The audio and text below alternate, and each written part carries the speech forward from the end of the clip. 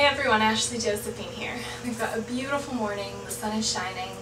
I don't know a whole lot about lighting, so I do the best I can, but we've got a lot of sunlight right here, so we're just going to imagine that the sun is shining in and brightening up our practice, and forget about the fact that the video quality might be not as great this morning because of the sunlight.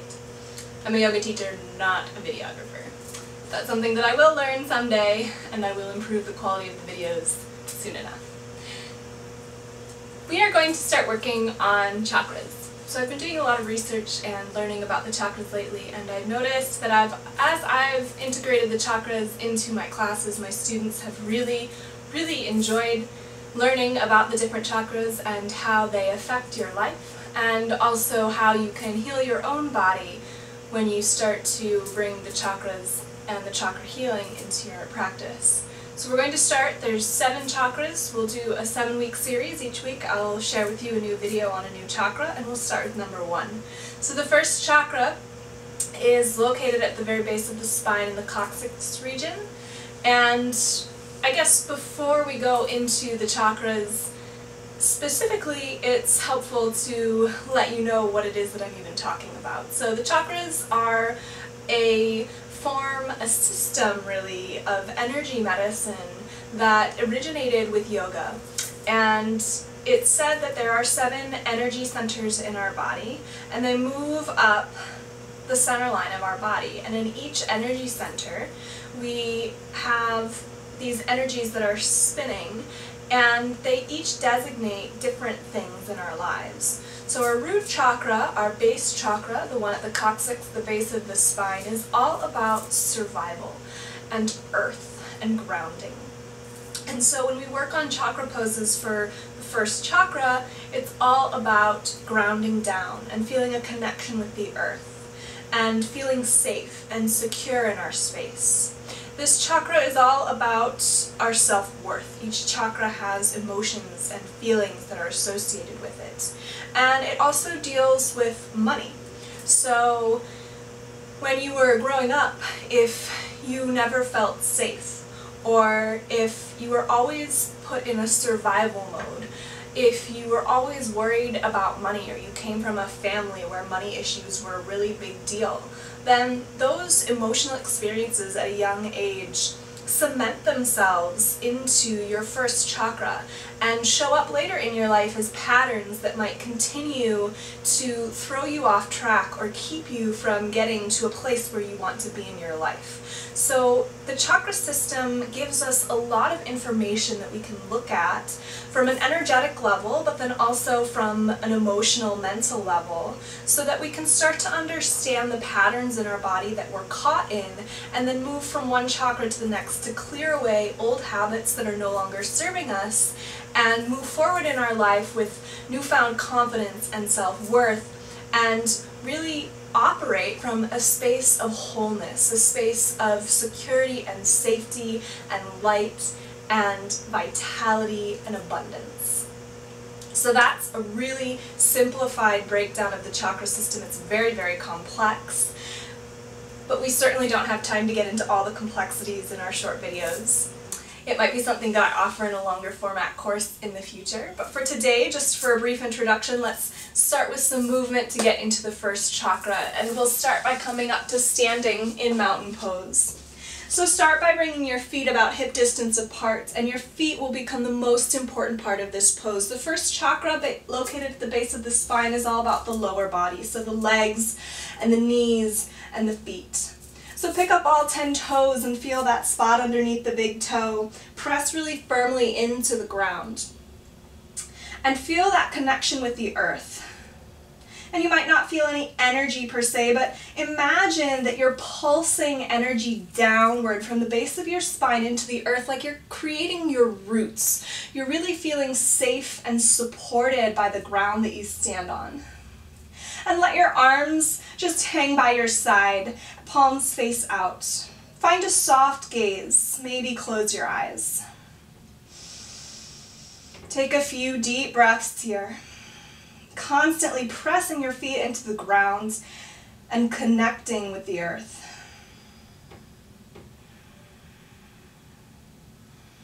And as you press down into the feet, you'll notice that you start to feel the pressure in the legs elevate.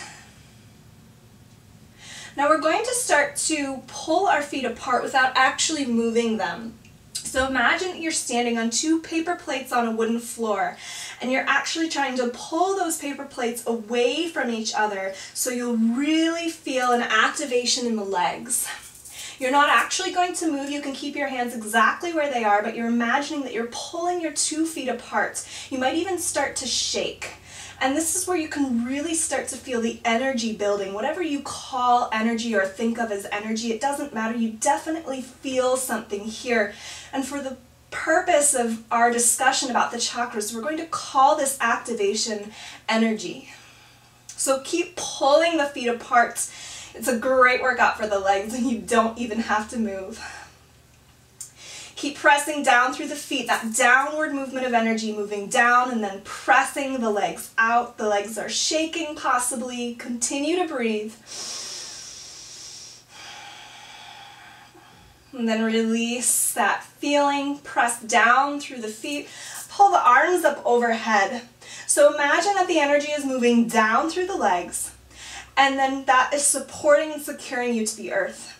Now from the base of the spine, feel some energy moving up, out through the fingertips, so that you feel really connected to the earth, but you're still reaching up towards the sky. We're grounding down in our root chakra, but we're not getting stuck there. We're still moving up and forward in our life and in our world.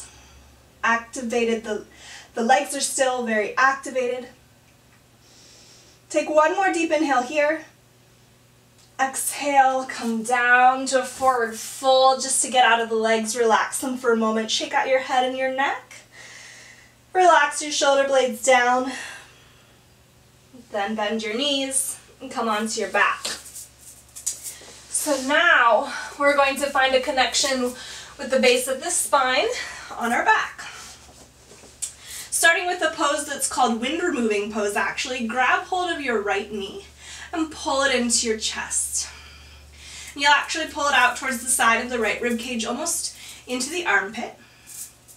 And really pull it. And as you're pulling this knee into your chest, you'll feel a stretch in the outside of the right hip, but also feel the base of your spine grounding down into the mat or the ground. Feel that connection and see if you can feel as you breathe an expansion of the low spine as you pull the leg in. still feeling deeply connected, secure, safe, and supported by the ground that you lay on.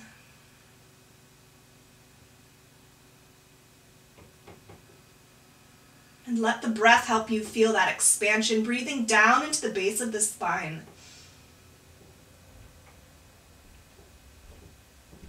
And then release the right leg down and switch sides. Pull your left knee in over to the side. Give it a nice squeeze. Pull it out slightly towards the armpit. Your right leg is relaxing down to the ground. You don't really need to, have it too active here. But continue to press the coccyx, the very base of the low spine, down into the mat, the tailbone. And as you breathe, feel that area expand. And notice that this side might feel completely different.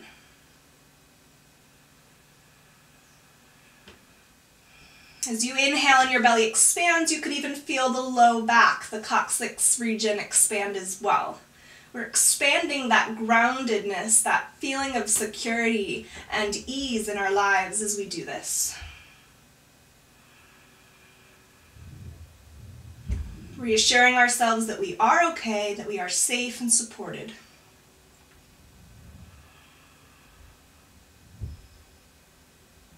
And then release the left leg down. Moving into bridge pose, so place the soles of the feet on the ground, find that very firm connection to the mat. Reach with your arms and your fingertips, maybe pull your feet in so that you can reach the back of the ankles. Pigeon toe your feet in slightly and pick up all 10 toes. Feel that connection to the earth. Plant those roots. Start to lift up so that the weight comes into the shoulders pressing forward through the shins, tailbone pointing towards the knees. core active and strong as you lift your hips up. Hands and arms supporting you underneath you, maybe even interlacing the fingers and pushing the shoulders underneath you to elevate the heart. Now here in this bridge pose, we really want to focus on pressing the feet firmly into the ground, rooting ourselves in this pose. Continue your deep breathing. Keep pressing your shins forward. You'll definitely feel it in the legs. And watch to see if you're really clutching or gripping the glute muscles and see if you can relax them and release them but still allow the legs to be active and strong.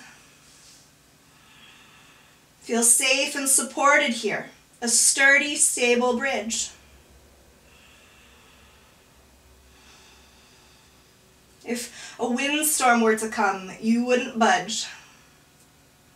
Any chaos that arrives in your life will maybe try and blow you over, but you'll stay strong.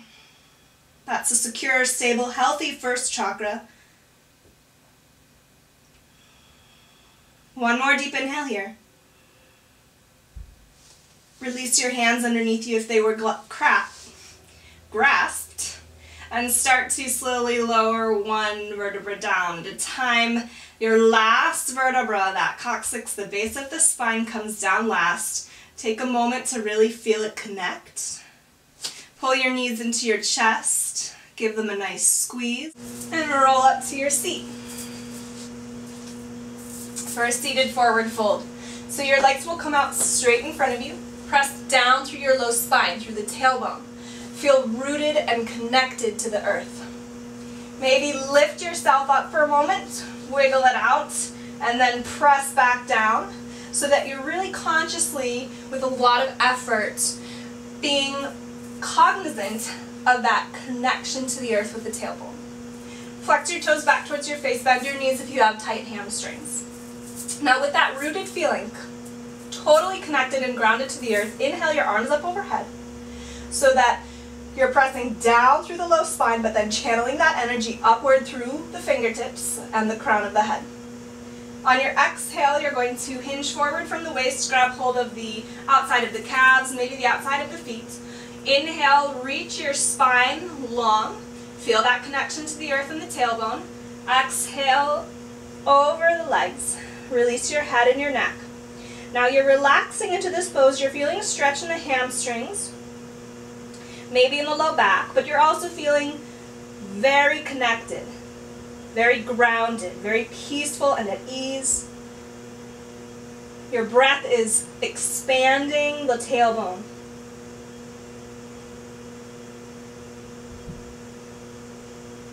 Your roots are spreading wide. And you bow forward, you surrender in this forward fold to that feeling of connectedness with the earth with those around you, knowing that you are supported and you're going to be okay. Knowing that you're worth it.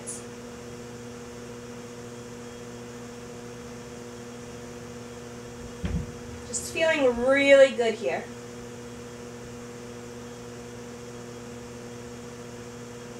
Feeling safe.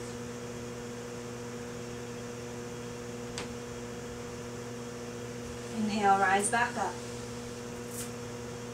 Feel that connection one last time.